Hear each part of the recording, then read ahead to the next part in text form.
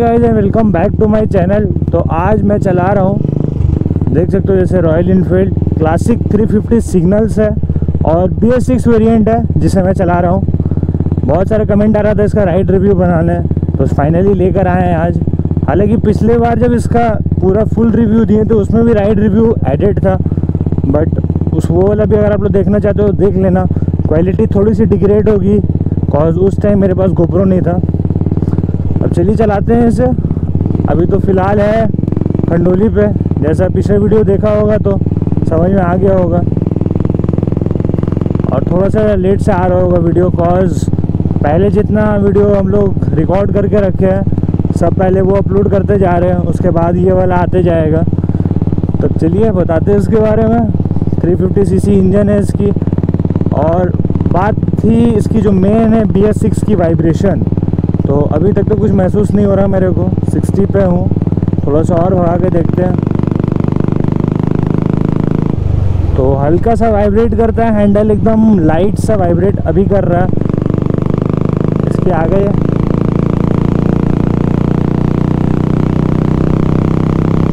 तो 80 पे वाइब्रेट करना चालू हो जाता है। मतलब स्टार्टिंग है। वैसा अगर आप लोग टाइट पकड़ के चलाओगे तो कोई दिक्कत नहीं है। आराम से चलेगी। और इस पर ग्लोब का एग्जॉस्ट लगा हुआ है, इसलिए इसका साउंड थोड़ा सा ज़्यादा आ रहा होगा। बी एस सिक्स साइलेंसर है मतलब sorry B S six compliant engine है साइलेंसर एग्जॉस्ट भी चेंज हुआ है इसका। और बहुत कोई कमेंट करते हैं कि बी एस सिक्स में एग्जॉस्ट लगाने के बाद कुछ प्रॉब्लम आता है कि नहीं तो अभी तक तो फ़िलहाल कुछ नहीं आया है। सब्सक्राइब कर लीजिए हमें। अगर इन फ्यूचर कुछ आता है तो आप लोगों को ज़रूर बताएँगे। और अगर आप लोग सब्सक्राइब कर लेते हो तो आप लोग को अच्छे से इन्फॉर्मेशन मिल जाएगा। बुलेट में क्या दिक्कत आता है जब आप लोग एग्जॉस्ट चेंज करते हो। और ऐसे तो काफ़ी सही बाइक है गाइज़ पूरी लाइट लग रही है चलाने में। हल्का सा वाइब्रेशन है, और कुछ नहीं है। और पूरी लाइट है बाइक गियर शिफ्टिंग भी काफ़ी सही है। ब्रेकिंग एंड ऑल भी काफ़ी अच्छे हैं इसके। ब्रेक में लगाते हो सडन रिस्पांस आता है। तुरंत मतलब इंस्टेंट रिस्पांस आ जाता है। ऐसा कुछ दिक्कत नहीं होता है ब्रेक में।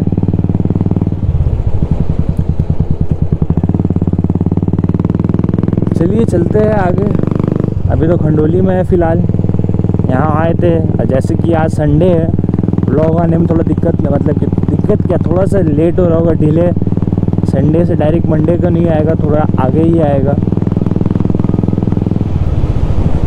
बाइक तो काफ़ी सही है गाइस ये वाली सिग्नल है, इसकी डिलीवरी वीडियो में भी हमने बनाया है और इसका एग्जॉस्ट चेंज वाला जो वीडियो बनाया है तो उसमें तो आप लोगों ने बहुत अच्छा रिस्पांस दिया वन मिलियन क्रॉस हो गए। तो I thank to you all jugs वगैरह में भी वैसा कुछ फील नहीं आता। है नॉर्मल लगता है, जैसे हर गाड़ी पे लगेगा आपको।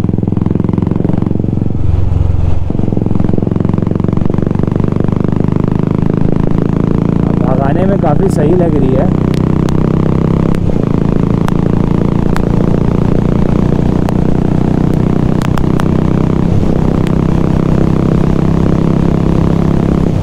तो अभी मैंने हंड्रेड लेके गया है इसको। तो अगर आप लोग टाइट से पूरा हैंडल पकड़ते हो तो कोई ऐसा दिक्कत नहीं होने जा रहा आप लोग को।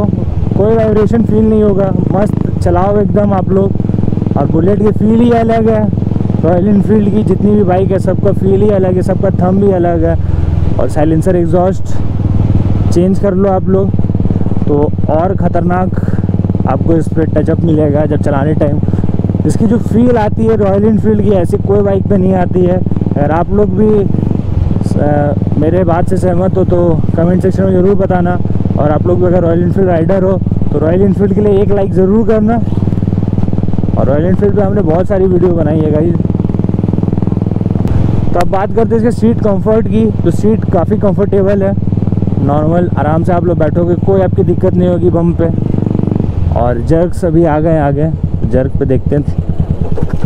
तो जर्क पे उतना फील नहीं होगा आपको।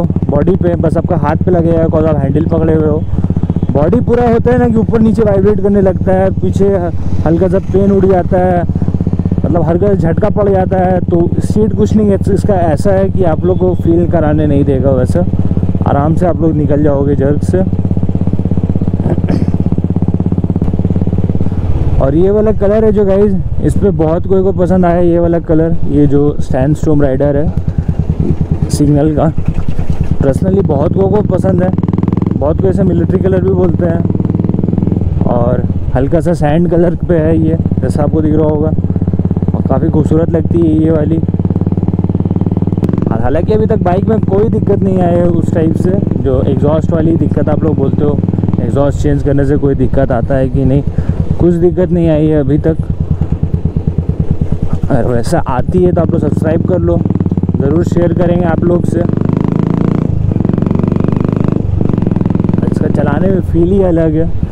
इसलिए लॉन्ग टूरिंग के लिए परफेक्ट बोला जाता है रॉयल इनफील्ड को। बहुत अच्छा फील आता है इससे।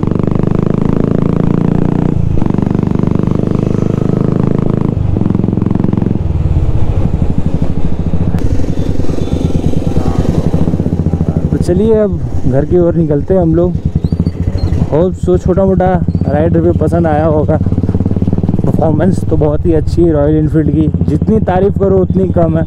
आप लोग को अगर रॉयल इनफील्ड में कुछ दिक्कत होती है तो कमेंट करके बताओ। क्या क्या दिक्कत आप लोगों को फेस हुआ है? हालाँकि मेरे को बस इसका एक ही दिक्कत फेस हुआ था जिस पर मैंने वीडियो भी बनाया था।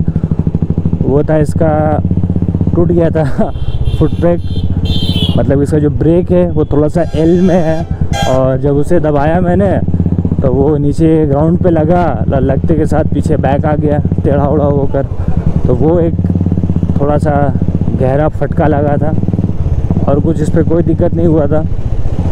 इसकी वजह बस ब्रेक से कंप्लेन है। ब्रेक की जो डिज़ाइन है उससे, हालाँकि ब्रेक रिस्पॉन्स इसका काफ़ी अच्छा है। बस इसका जो ब्रेक का डिज़ाइन है, जो एल में प्रेजेंट है वो मेरे को पसंद नहीं आया। हालाँकि अब रॉयल इनफील्ड स्ट्रेट ब्रेक्स निकालने लगे। मतलब जो नीचे एल रहता है, उसे अब स्ट्रेट निकालने लगे। तो बस यही एक दिक्कत आती है इस पर अगर आप लोग वैसे ऑफ़ ट्रैक पे चलाते हो तो। और बात रहा रॉयल इनफील्ड से ऑफ़ करने का तो जनरली रॉयल इनफील्ड की बाइक से ली जाती है। आप लोग के लद्दाख एंड टूर पे लंबे लंबे टूर पे कॉज ये बहुत कंफर्टेबल भी रहती है। और ऑफ़ रोड पैच पे हल्का सा दिक्कत होगा आप लोग को वो है इसका ब्रेक से। और अगर ब्रेक जो एल टाइप पे नीचे करते हो, पत्थर उत्थर लगता है नीचे तो ब्रेक टूटने का डर है। तो बस वहाँ पे ऑफ़ रोड में दिक्कत होगा। ऐसे अब लॉन्ग टूरिंग के लिए हाईवेज के लिए पूरी कंफर्टेबल बाइक है। पूरी स्मूथ चलती है। अब चलिए वीडियो एंड करते हैं। होप सो पसंद आया होगा। लाइक शेयर सब्सक्राइब ज़रूर करें। And thank you for watching